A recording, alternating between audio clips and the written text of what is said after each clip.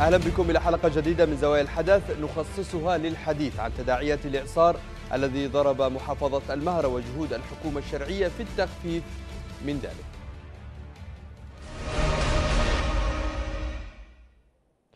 أفاد تقرير حكومي بأن نحو 3750 أسرة معظمهم في الغيضة نزحت إثر السيول الجارفة والإعصار الذي شهدته المهرة التقرير الصادر عن الوحدة التنفيذية لإدارة مخيمات النازحين قال إن النازحين لجأوا إلى مراكز إيواء مؤقتة في المدارس والمساجد والمرافق الحكومية فيما لم تتمكن عدد من الأسر من النزوح.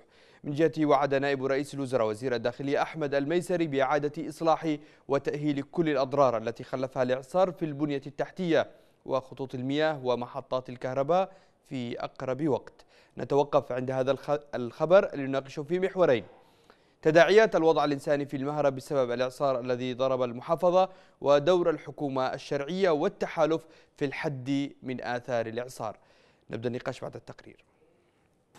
وحيدون بدون ماوى. لا ملجأ لهم من الماء إلا الماء. هاربون من قسوة الطبيعة إلى قسوة الحياة. إنهم أبناء المهرة العالقون داخل إعصار لبان الإعصار الذي تسبب بتدمير حياة بسطاء يعيشون في منطقة تقع على بلد يعاني من حرب طويلة الأمد. التقديرات الدولية تشير إلى نزوح أكثر من ثلاثة آلاف أسرة وهي تقديرات تؤكدها الرواية الرسمية التي تفيد بنزوح نحو ثلاثة آلاف وسبعمائة وخمسين أسرة. منسق الشؤون الإنسانية في الأمم المتحدة بانس لاركي حذر من مزيد من الفيضانات في محافظة المهرة بسبب التوقعات باستمرار هطول الأمطار الغزيرة. المدارس أضحت ملاجئ مؤقتة وفق المسؤول الأممي الذي وثق لجوء نحو 550 أسرة إلى بعض المدارس في الغيضة في ظل مساعدات إنسانية محدودة وصلت من منظمات أممية. الموقف الرسمي من كارثة إعصار لبان لم يكن بحجم الماساة الإنسانية وانحصر بتحذيرات حكومية ومناشدات رسمية. وفيما يبدو فإنه ينتظر انتهاء العاصفة حيث وعد وزير الداخلية أحمد الميسري بإعادة إصلاح وتأهيل الأضرار التي خلفها الإعصار. السيول الجارفة الناتجة عن إعصار لبان أدت إلى تجريف البنية التحتية وتدمير محطات الكهرباء وتعطيل خطوط المياه وقطع الطرق الرابطة بين المديريات المتضررة والمحافظات المجاورة. وفي ظل تأكيد إدارة مخيمات النازحين بأن أماكن إيواء النزوح غير صالحة للحياة ومهددة بالتوقف عن العمل هو ما جعل حركة المواطنين المتضررين لإنقاذ أنفسهم من الغرق صعبة للغاية. نبدأ النقاش مع ضيفنا من المهرة وكيل المحافظة للشؤون الفنية سالم العبودي. أهلا بك سالم.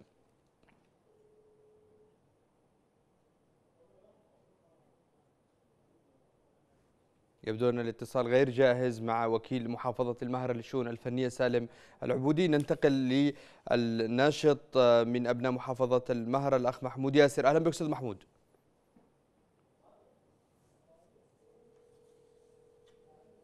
أيضا يبدو أن الاتصال غير جاهز من المهرة أذكر فقط بأن هذه الحلقة من زوايا الحدث هي مخصصة للحديث عن تداعيات الإعصار الذي ضرب محافظة المهرة وجهود الحكومة والتحالف في التخفيف من معاناة الناس.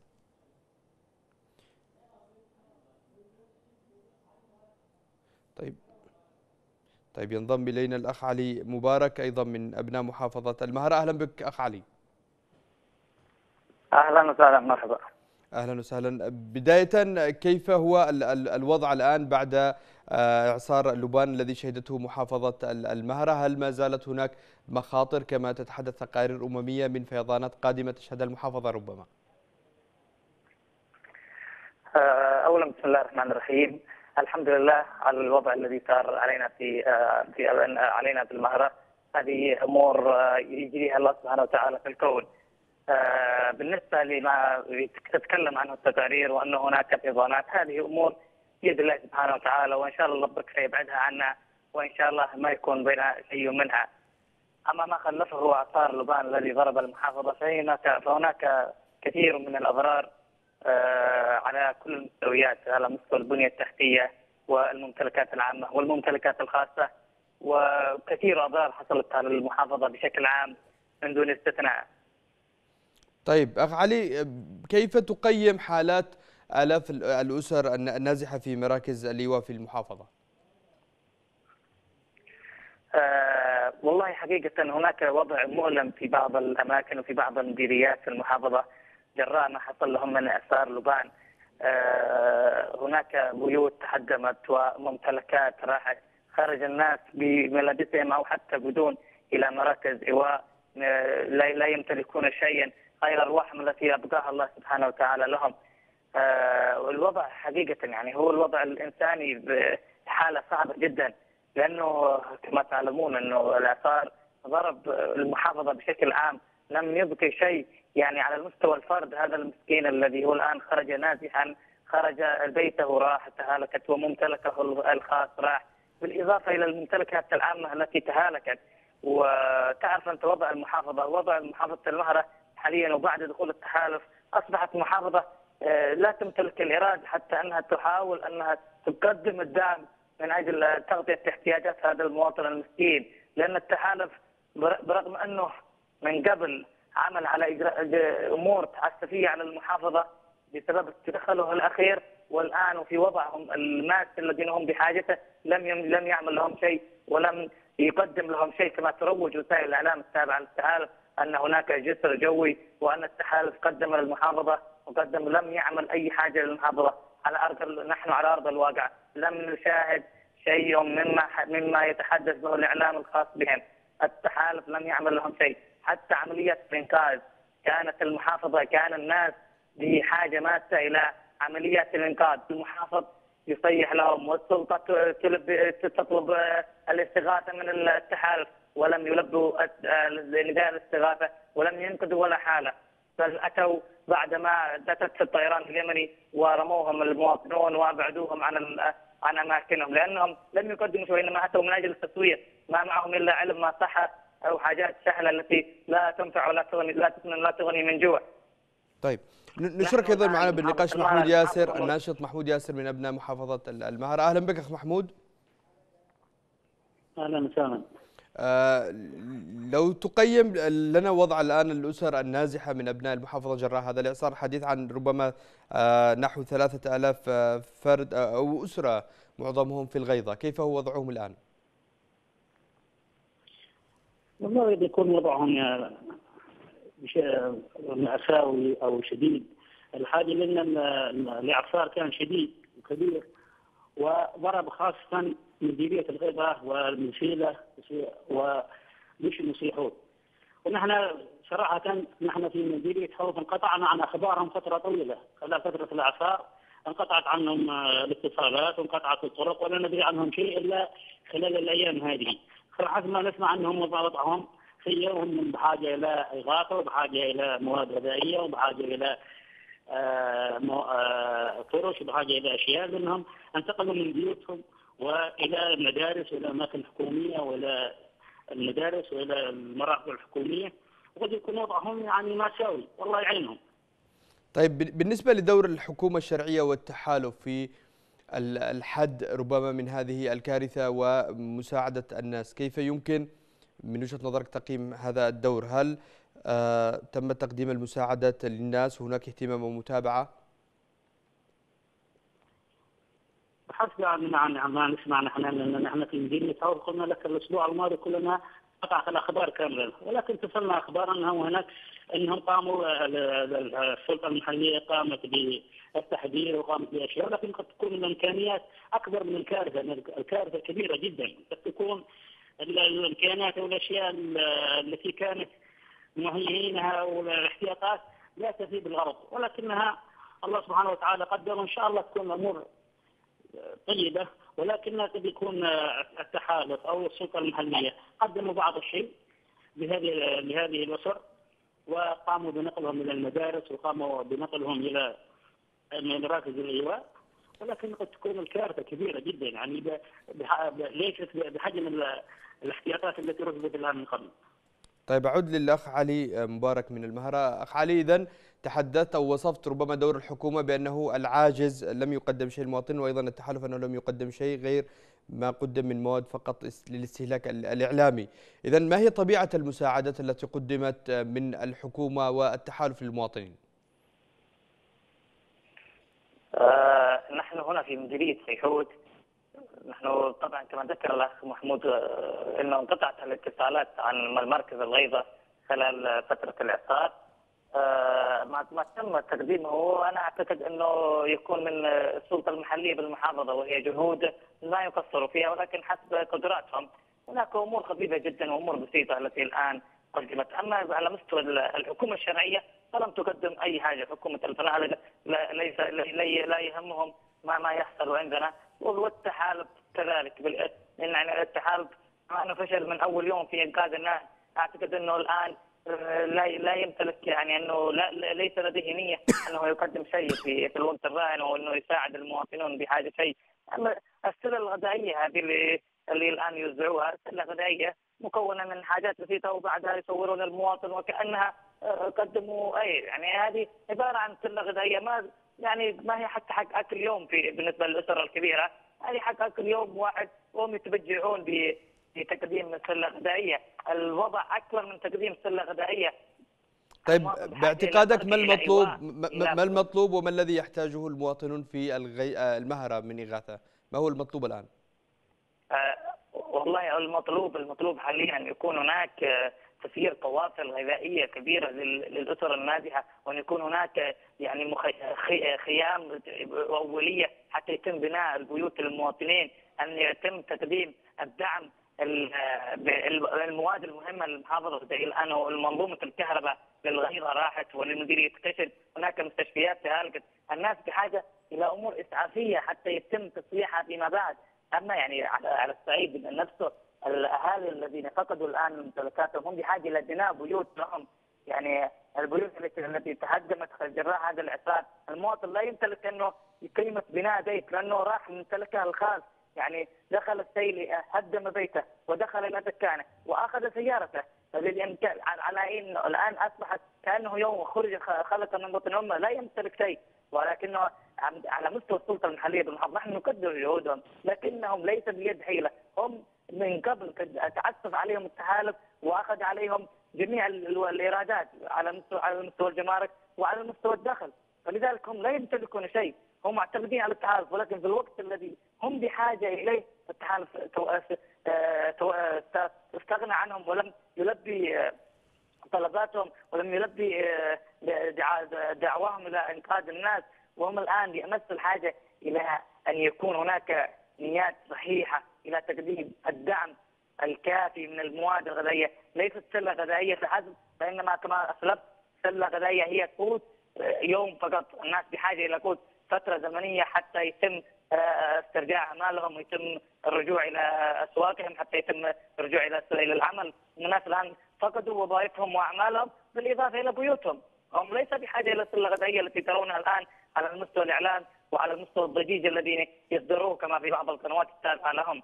على أرض الواقع لا يوجد شيء مما يذكر ابدا. طيب شكرا جزيلا لك علي مبارك من المهرة، أعود للأخ محمود. آه بالنسبة لدور المنظمات الدولية والمنظمات الإنسانية العاملة في المجال الإغاثي هل وصلت إلى المحافظة وما الذي قدمته للمواطنين؟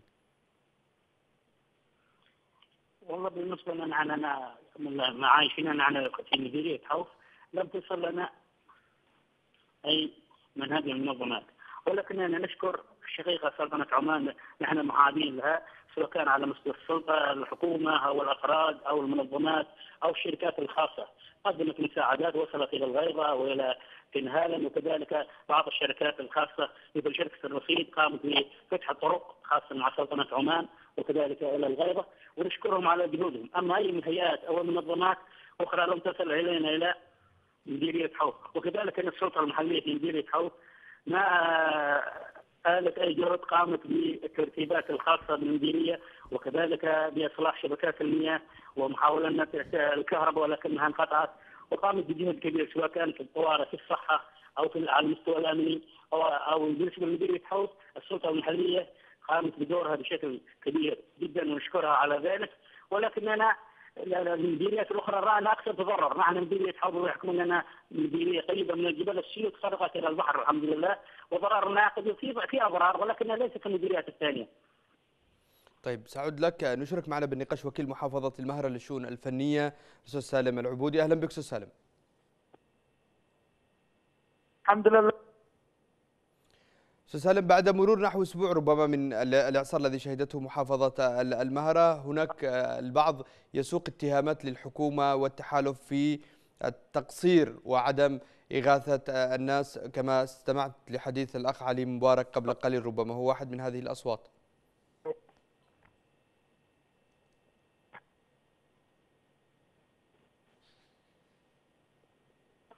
أستاذ سالم؟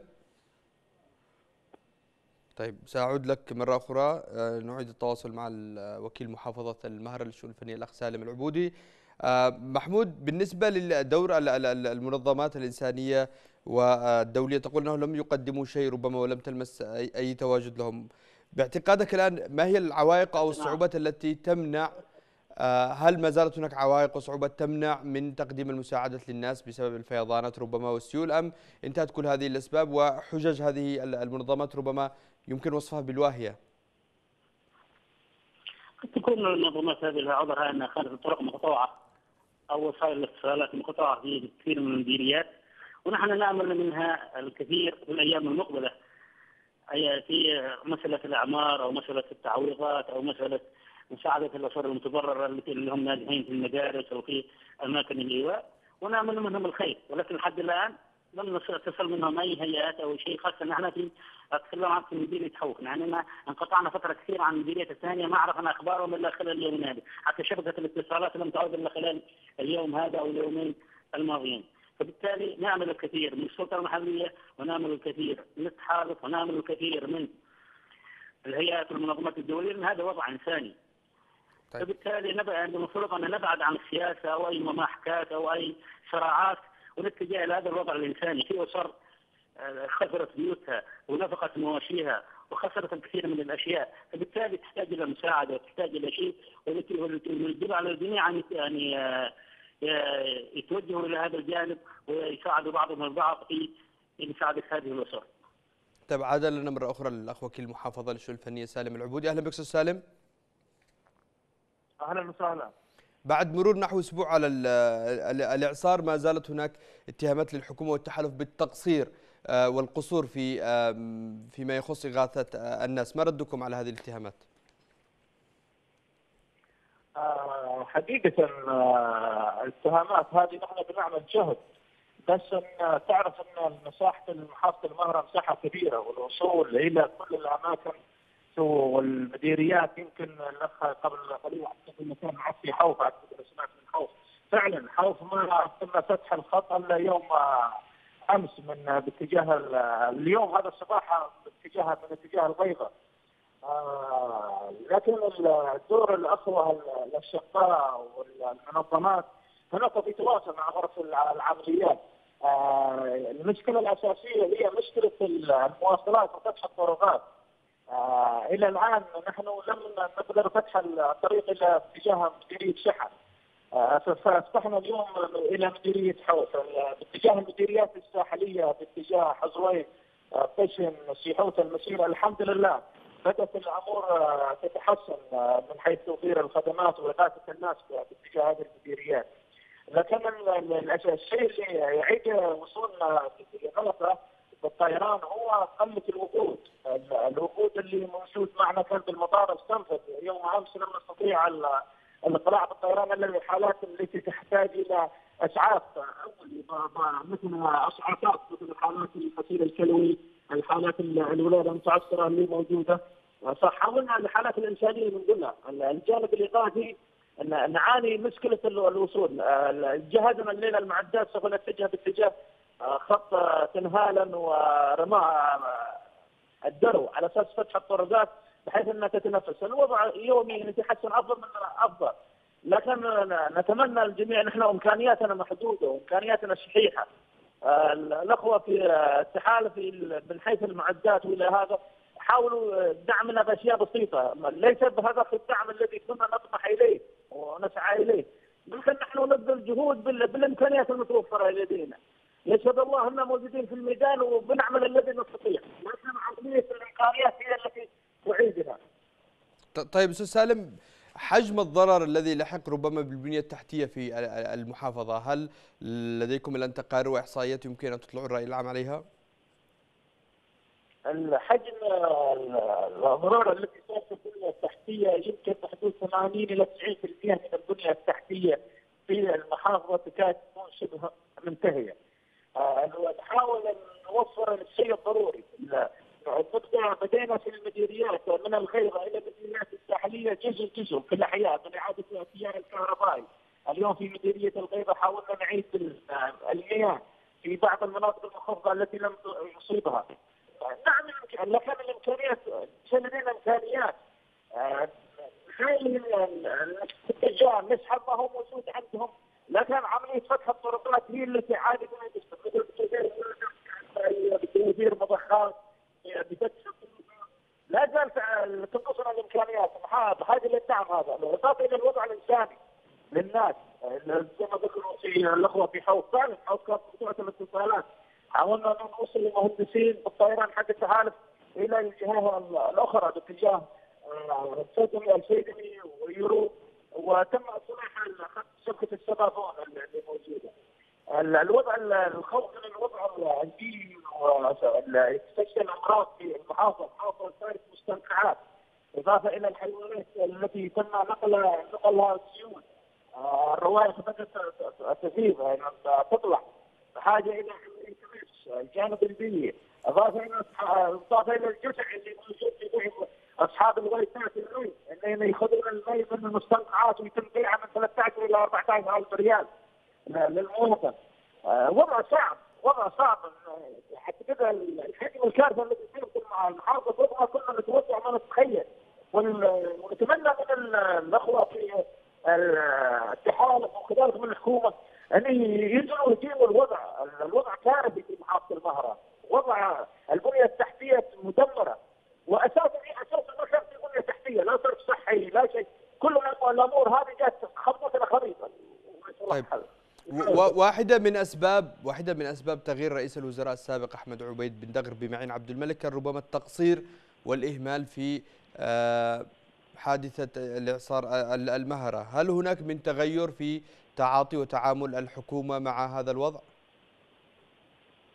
نحن نسمع اتصالات معنا الوحيد اللي يسمع اتصالات من الاخوه في غرفة العمليات وغرفة الكوارث اللي موجودة في في عدن التواصل عبر المؤسسة العسكرية وغيرها. لكن إلى الآن لم يسمع. اللي وصلنا الآن كنا في تواصل مع الاخوه في محافظه حضرموت جزاهم الله خير. كان قبل السلطه المحلية في مديريه حضرموت وعندنا الأخوة الآن في مارب في منطقة بني عدان بقيادة وكيل الأول محافظة المغرب نسوي نرتب لهم تنسيق الوصول إلى المحافظة. الأخوة في الأشقاء في دوله معاهم 420 حين يشتونها في وادي في مديريه سيحوت الأخوة في سلطنة عمان الاغاثات التي وصلت من الهيئه العمانية. لا زالت نقلها إلى البيضه بسبب اتجاه الاخوه المواطنين مصطفى اعمار هناك مبادرات آه، شبابية ومجتمعية تم ايصال المعونات إلى خوف المناطق آه، كذلك الشكر موصول إلى الشيخ عدنان رعفيف الذي يبادر آه، بتوصيل فتح الخط من إلى مديرية الغيب الأمانة في أهل وأخوان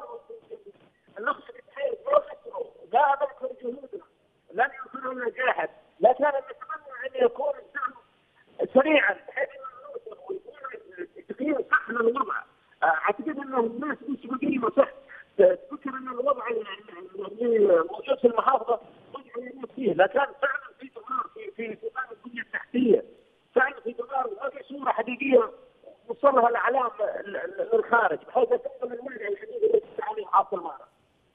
أشكرك جزيلا وكيل محافظة الشؤون الفنية سالم العبودي وأيضا الشكر موصول للأخ محمود ياسر نشط الشبابي من أبناء محافظة المهرة والأخ علي مبارك أيضا وصلنا لختام هذه الحلقة من زاوية الحدث في الغد حلقة جديدة في أمان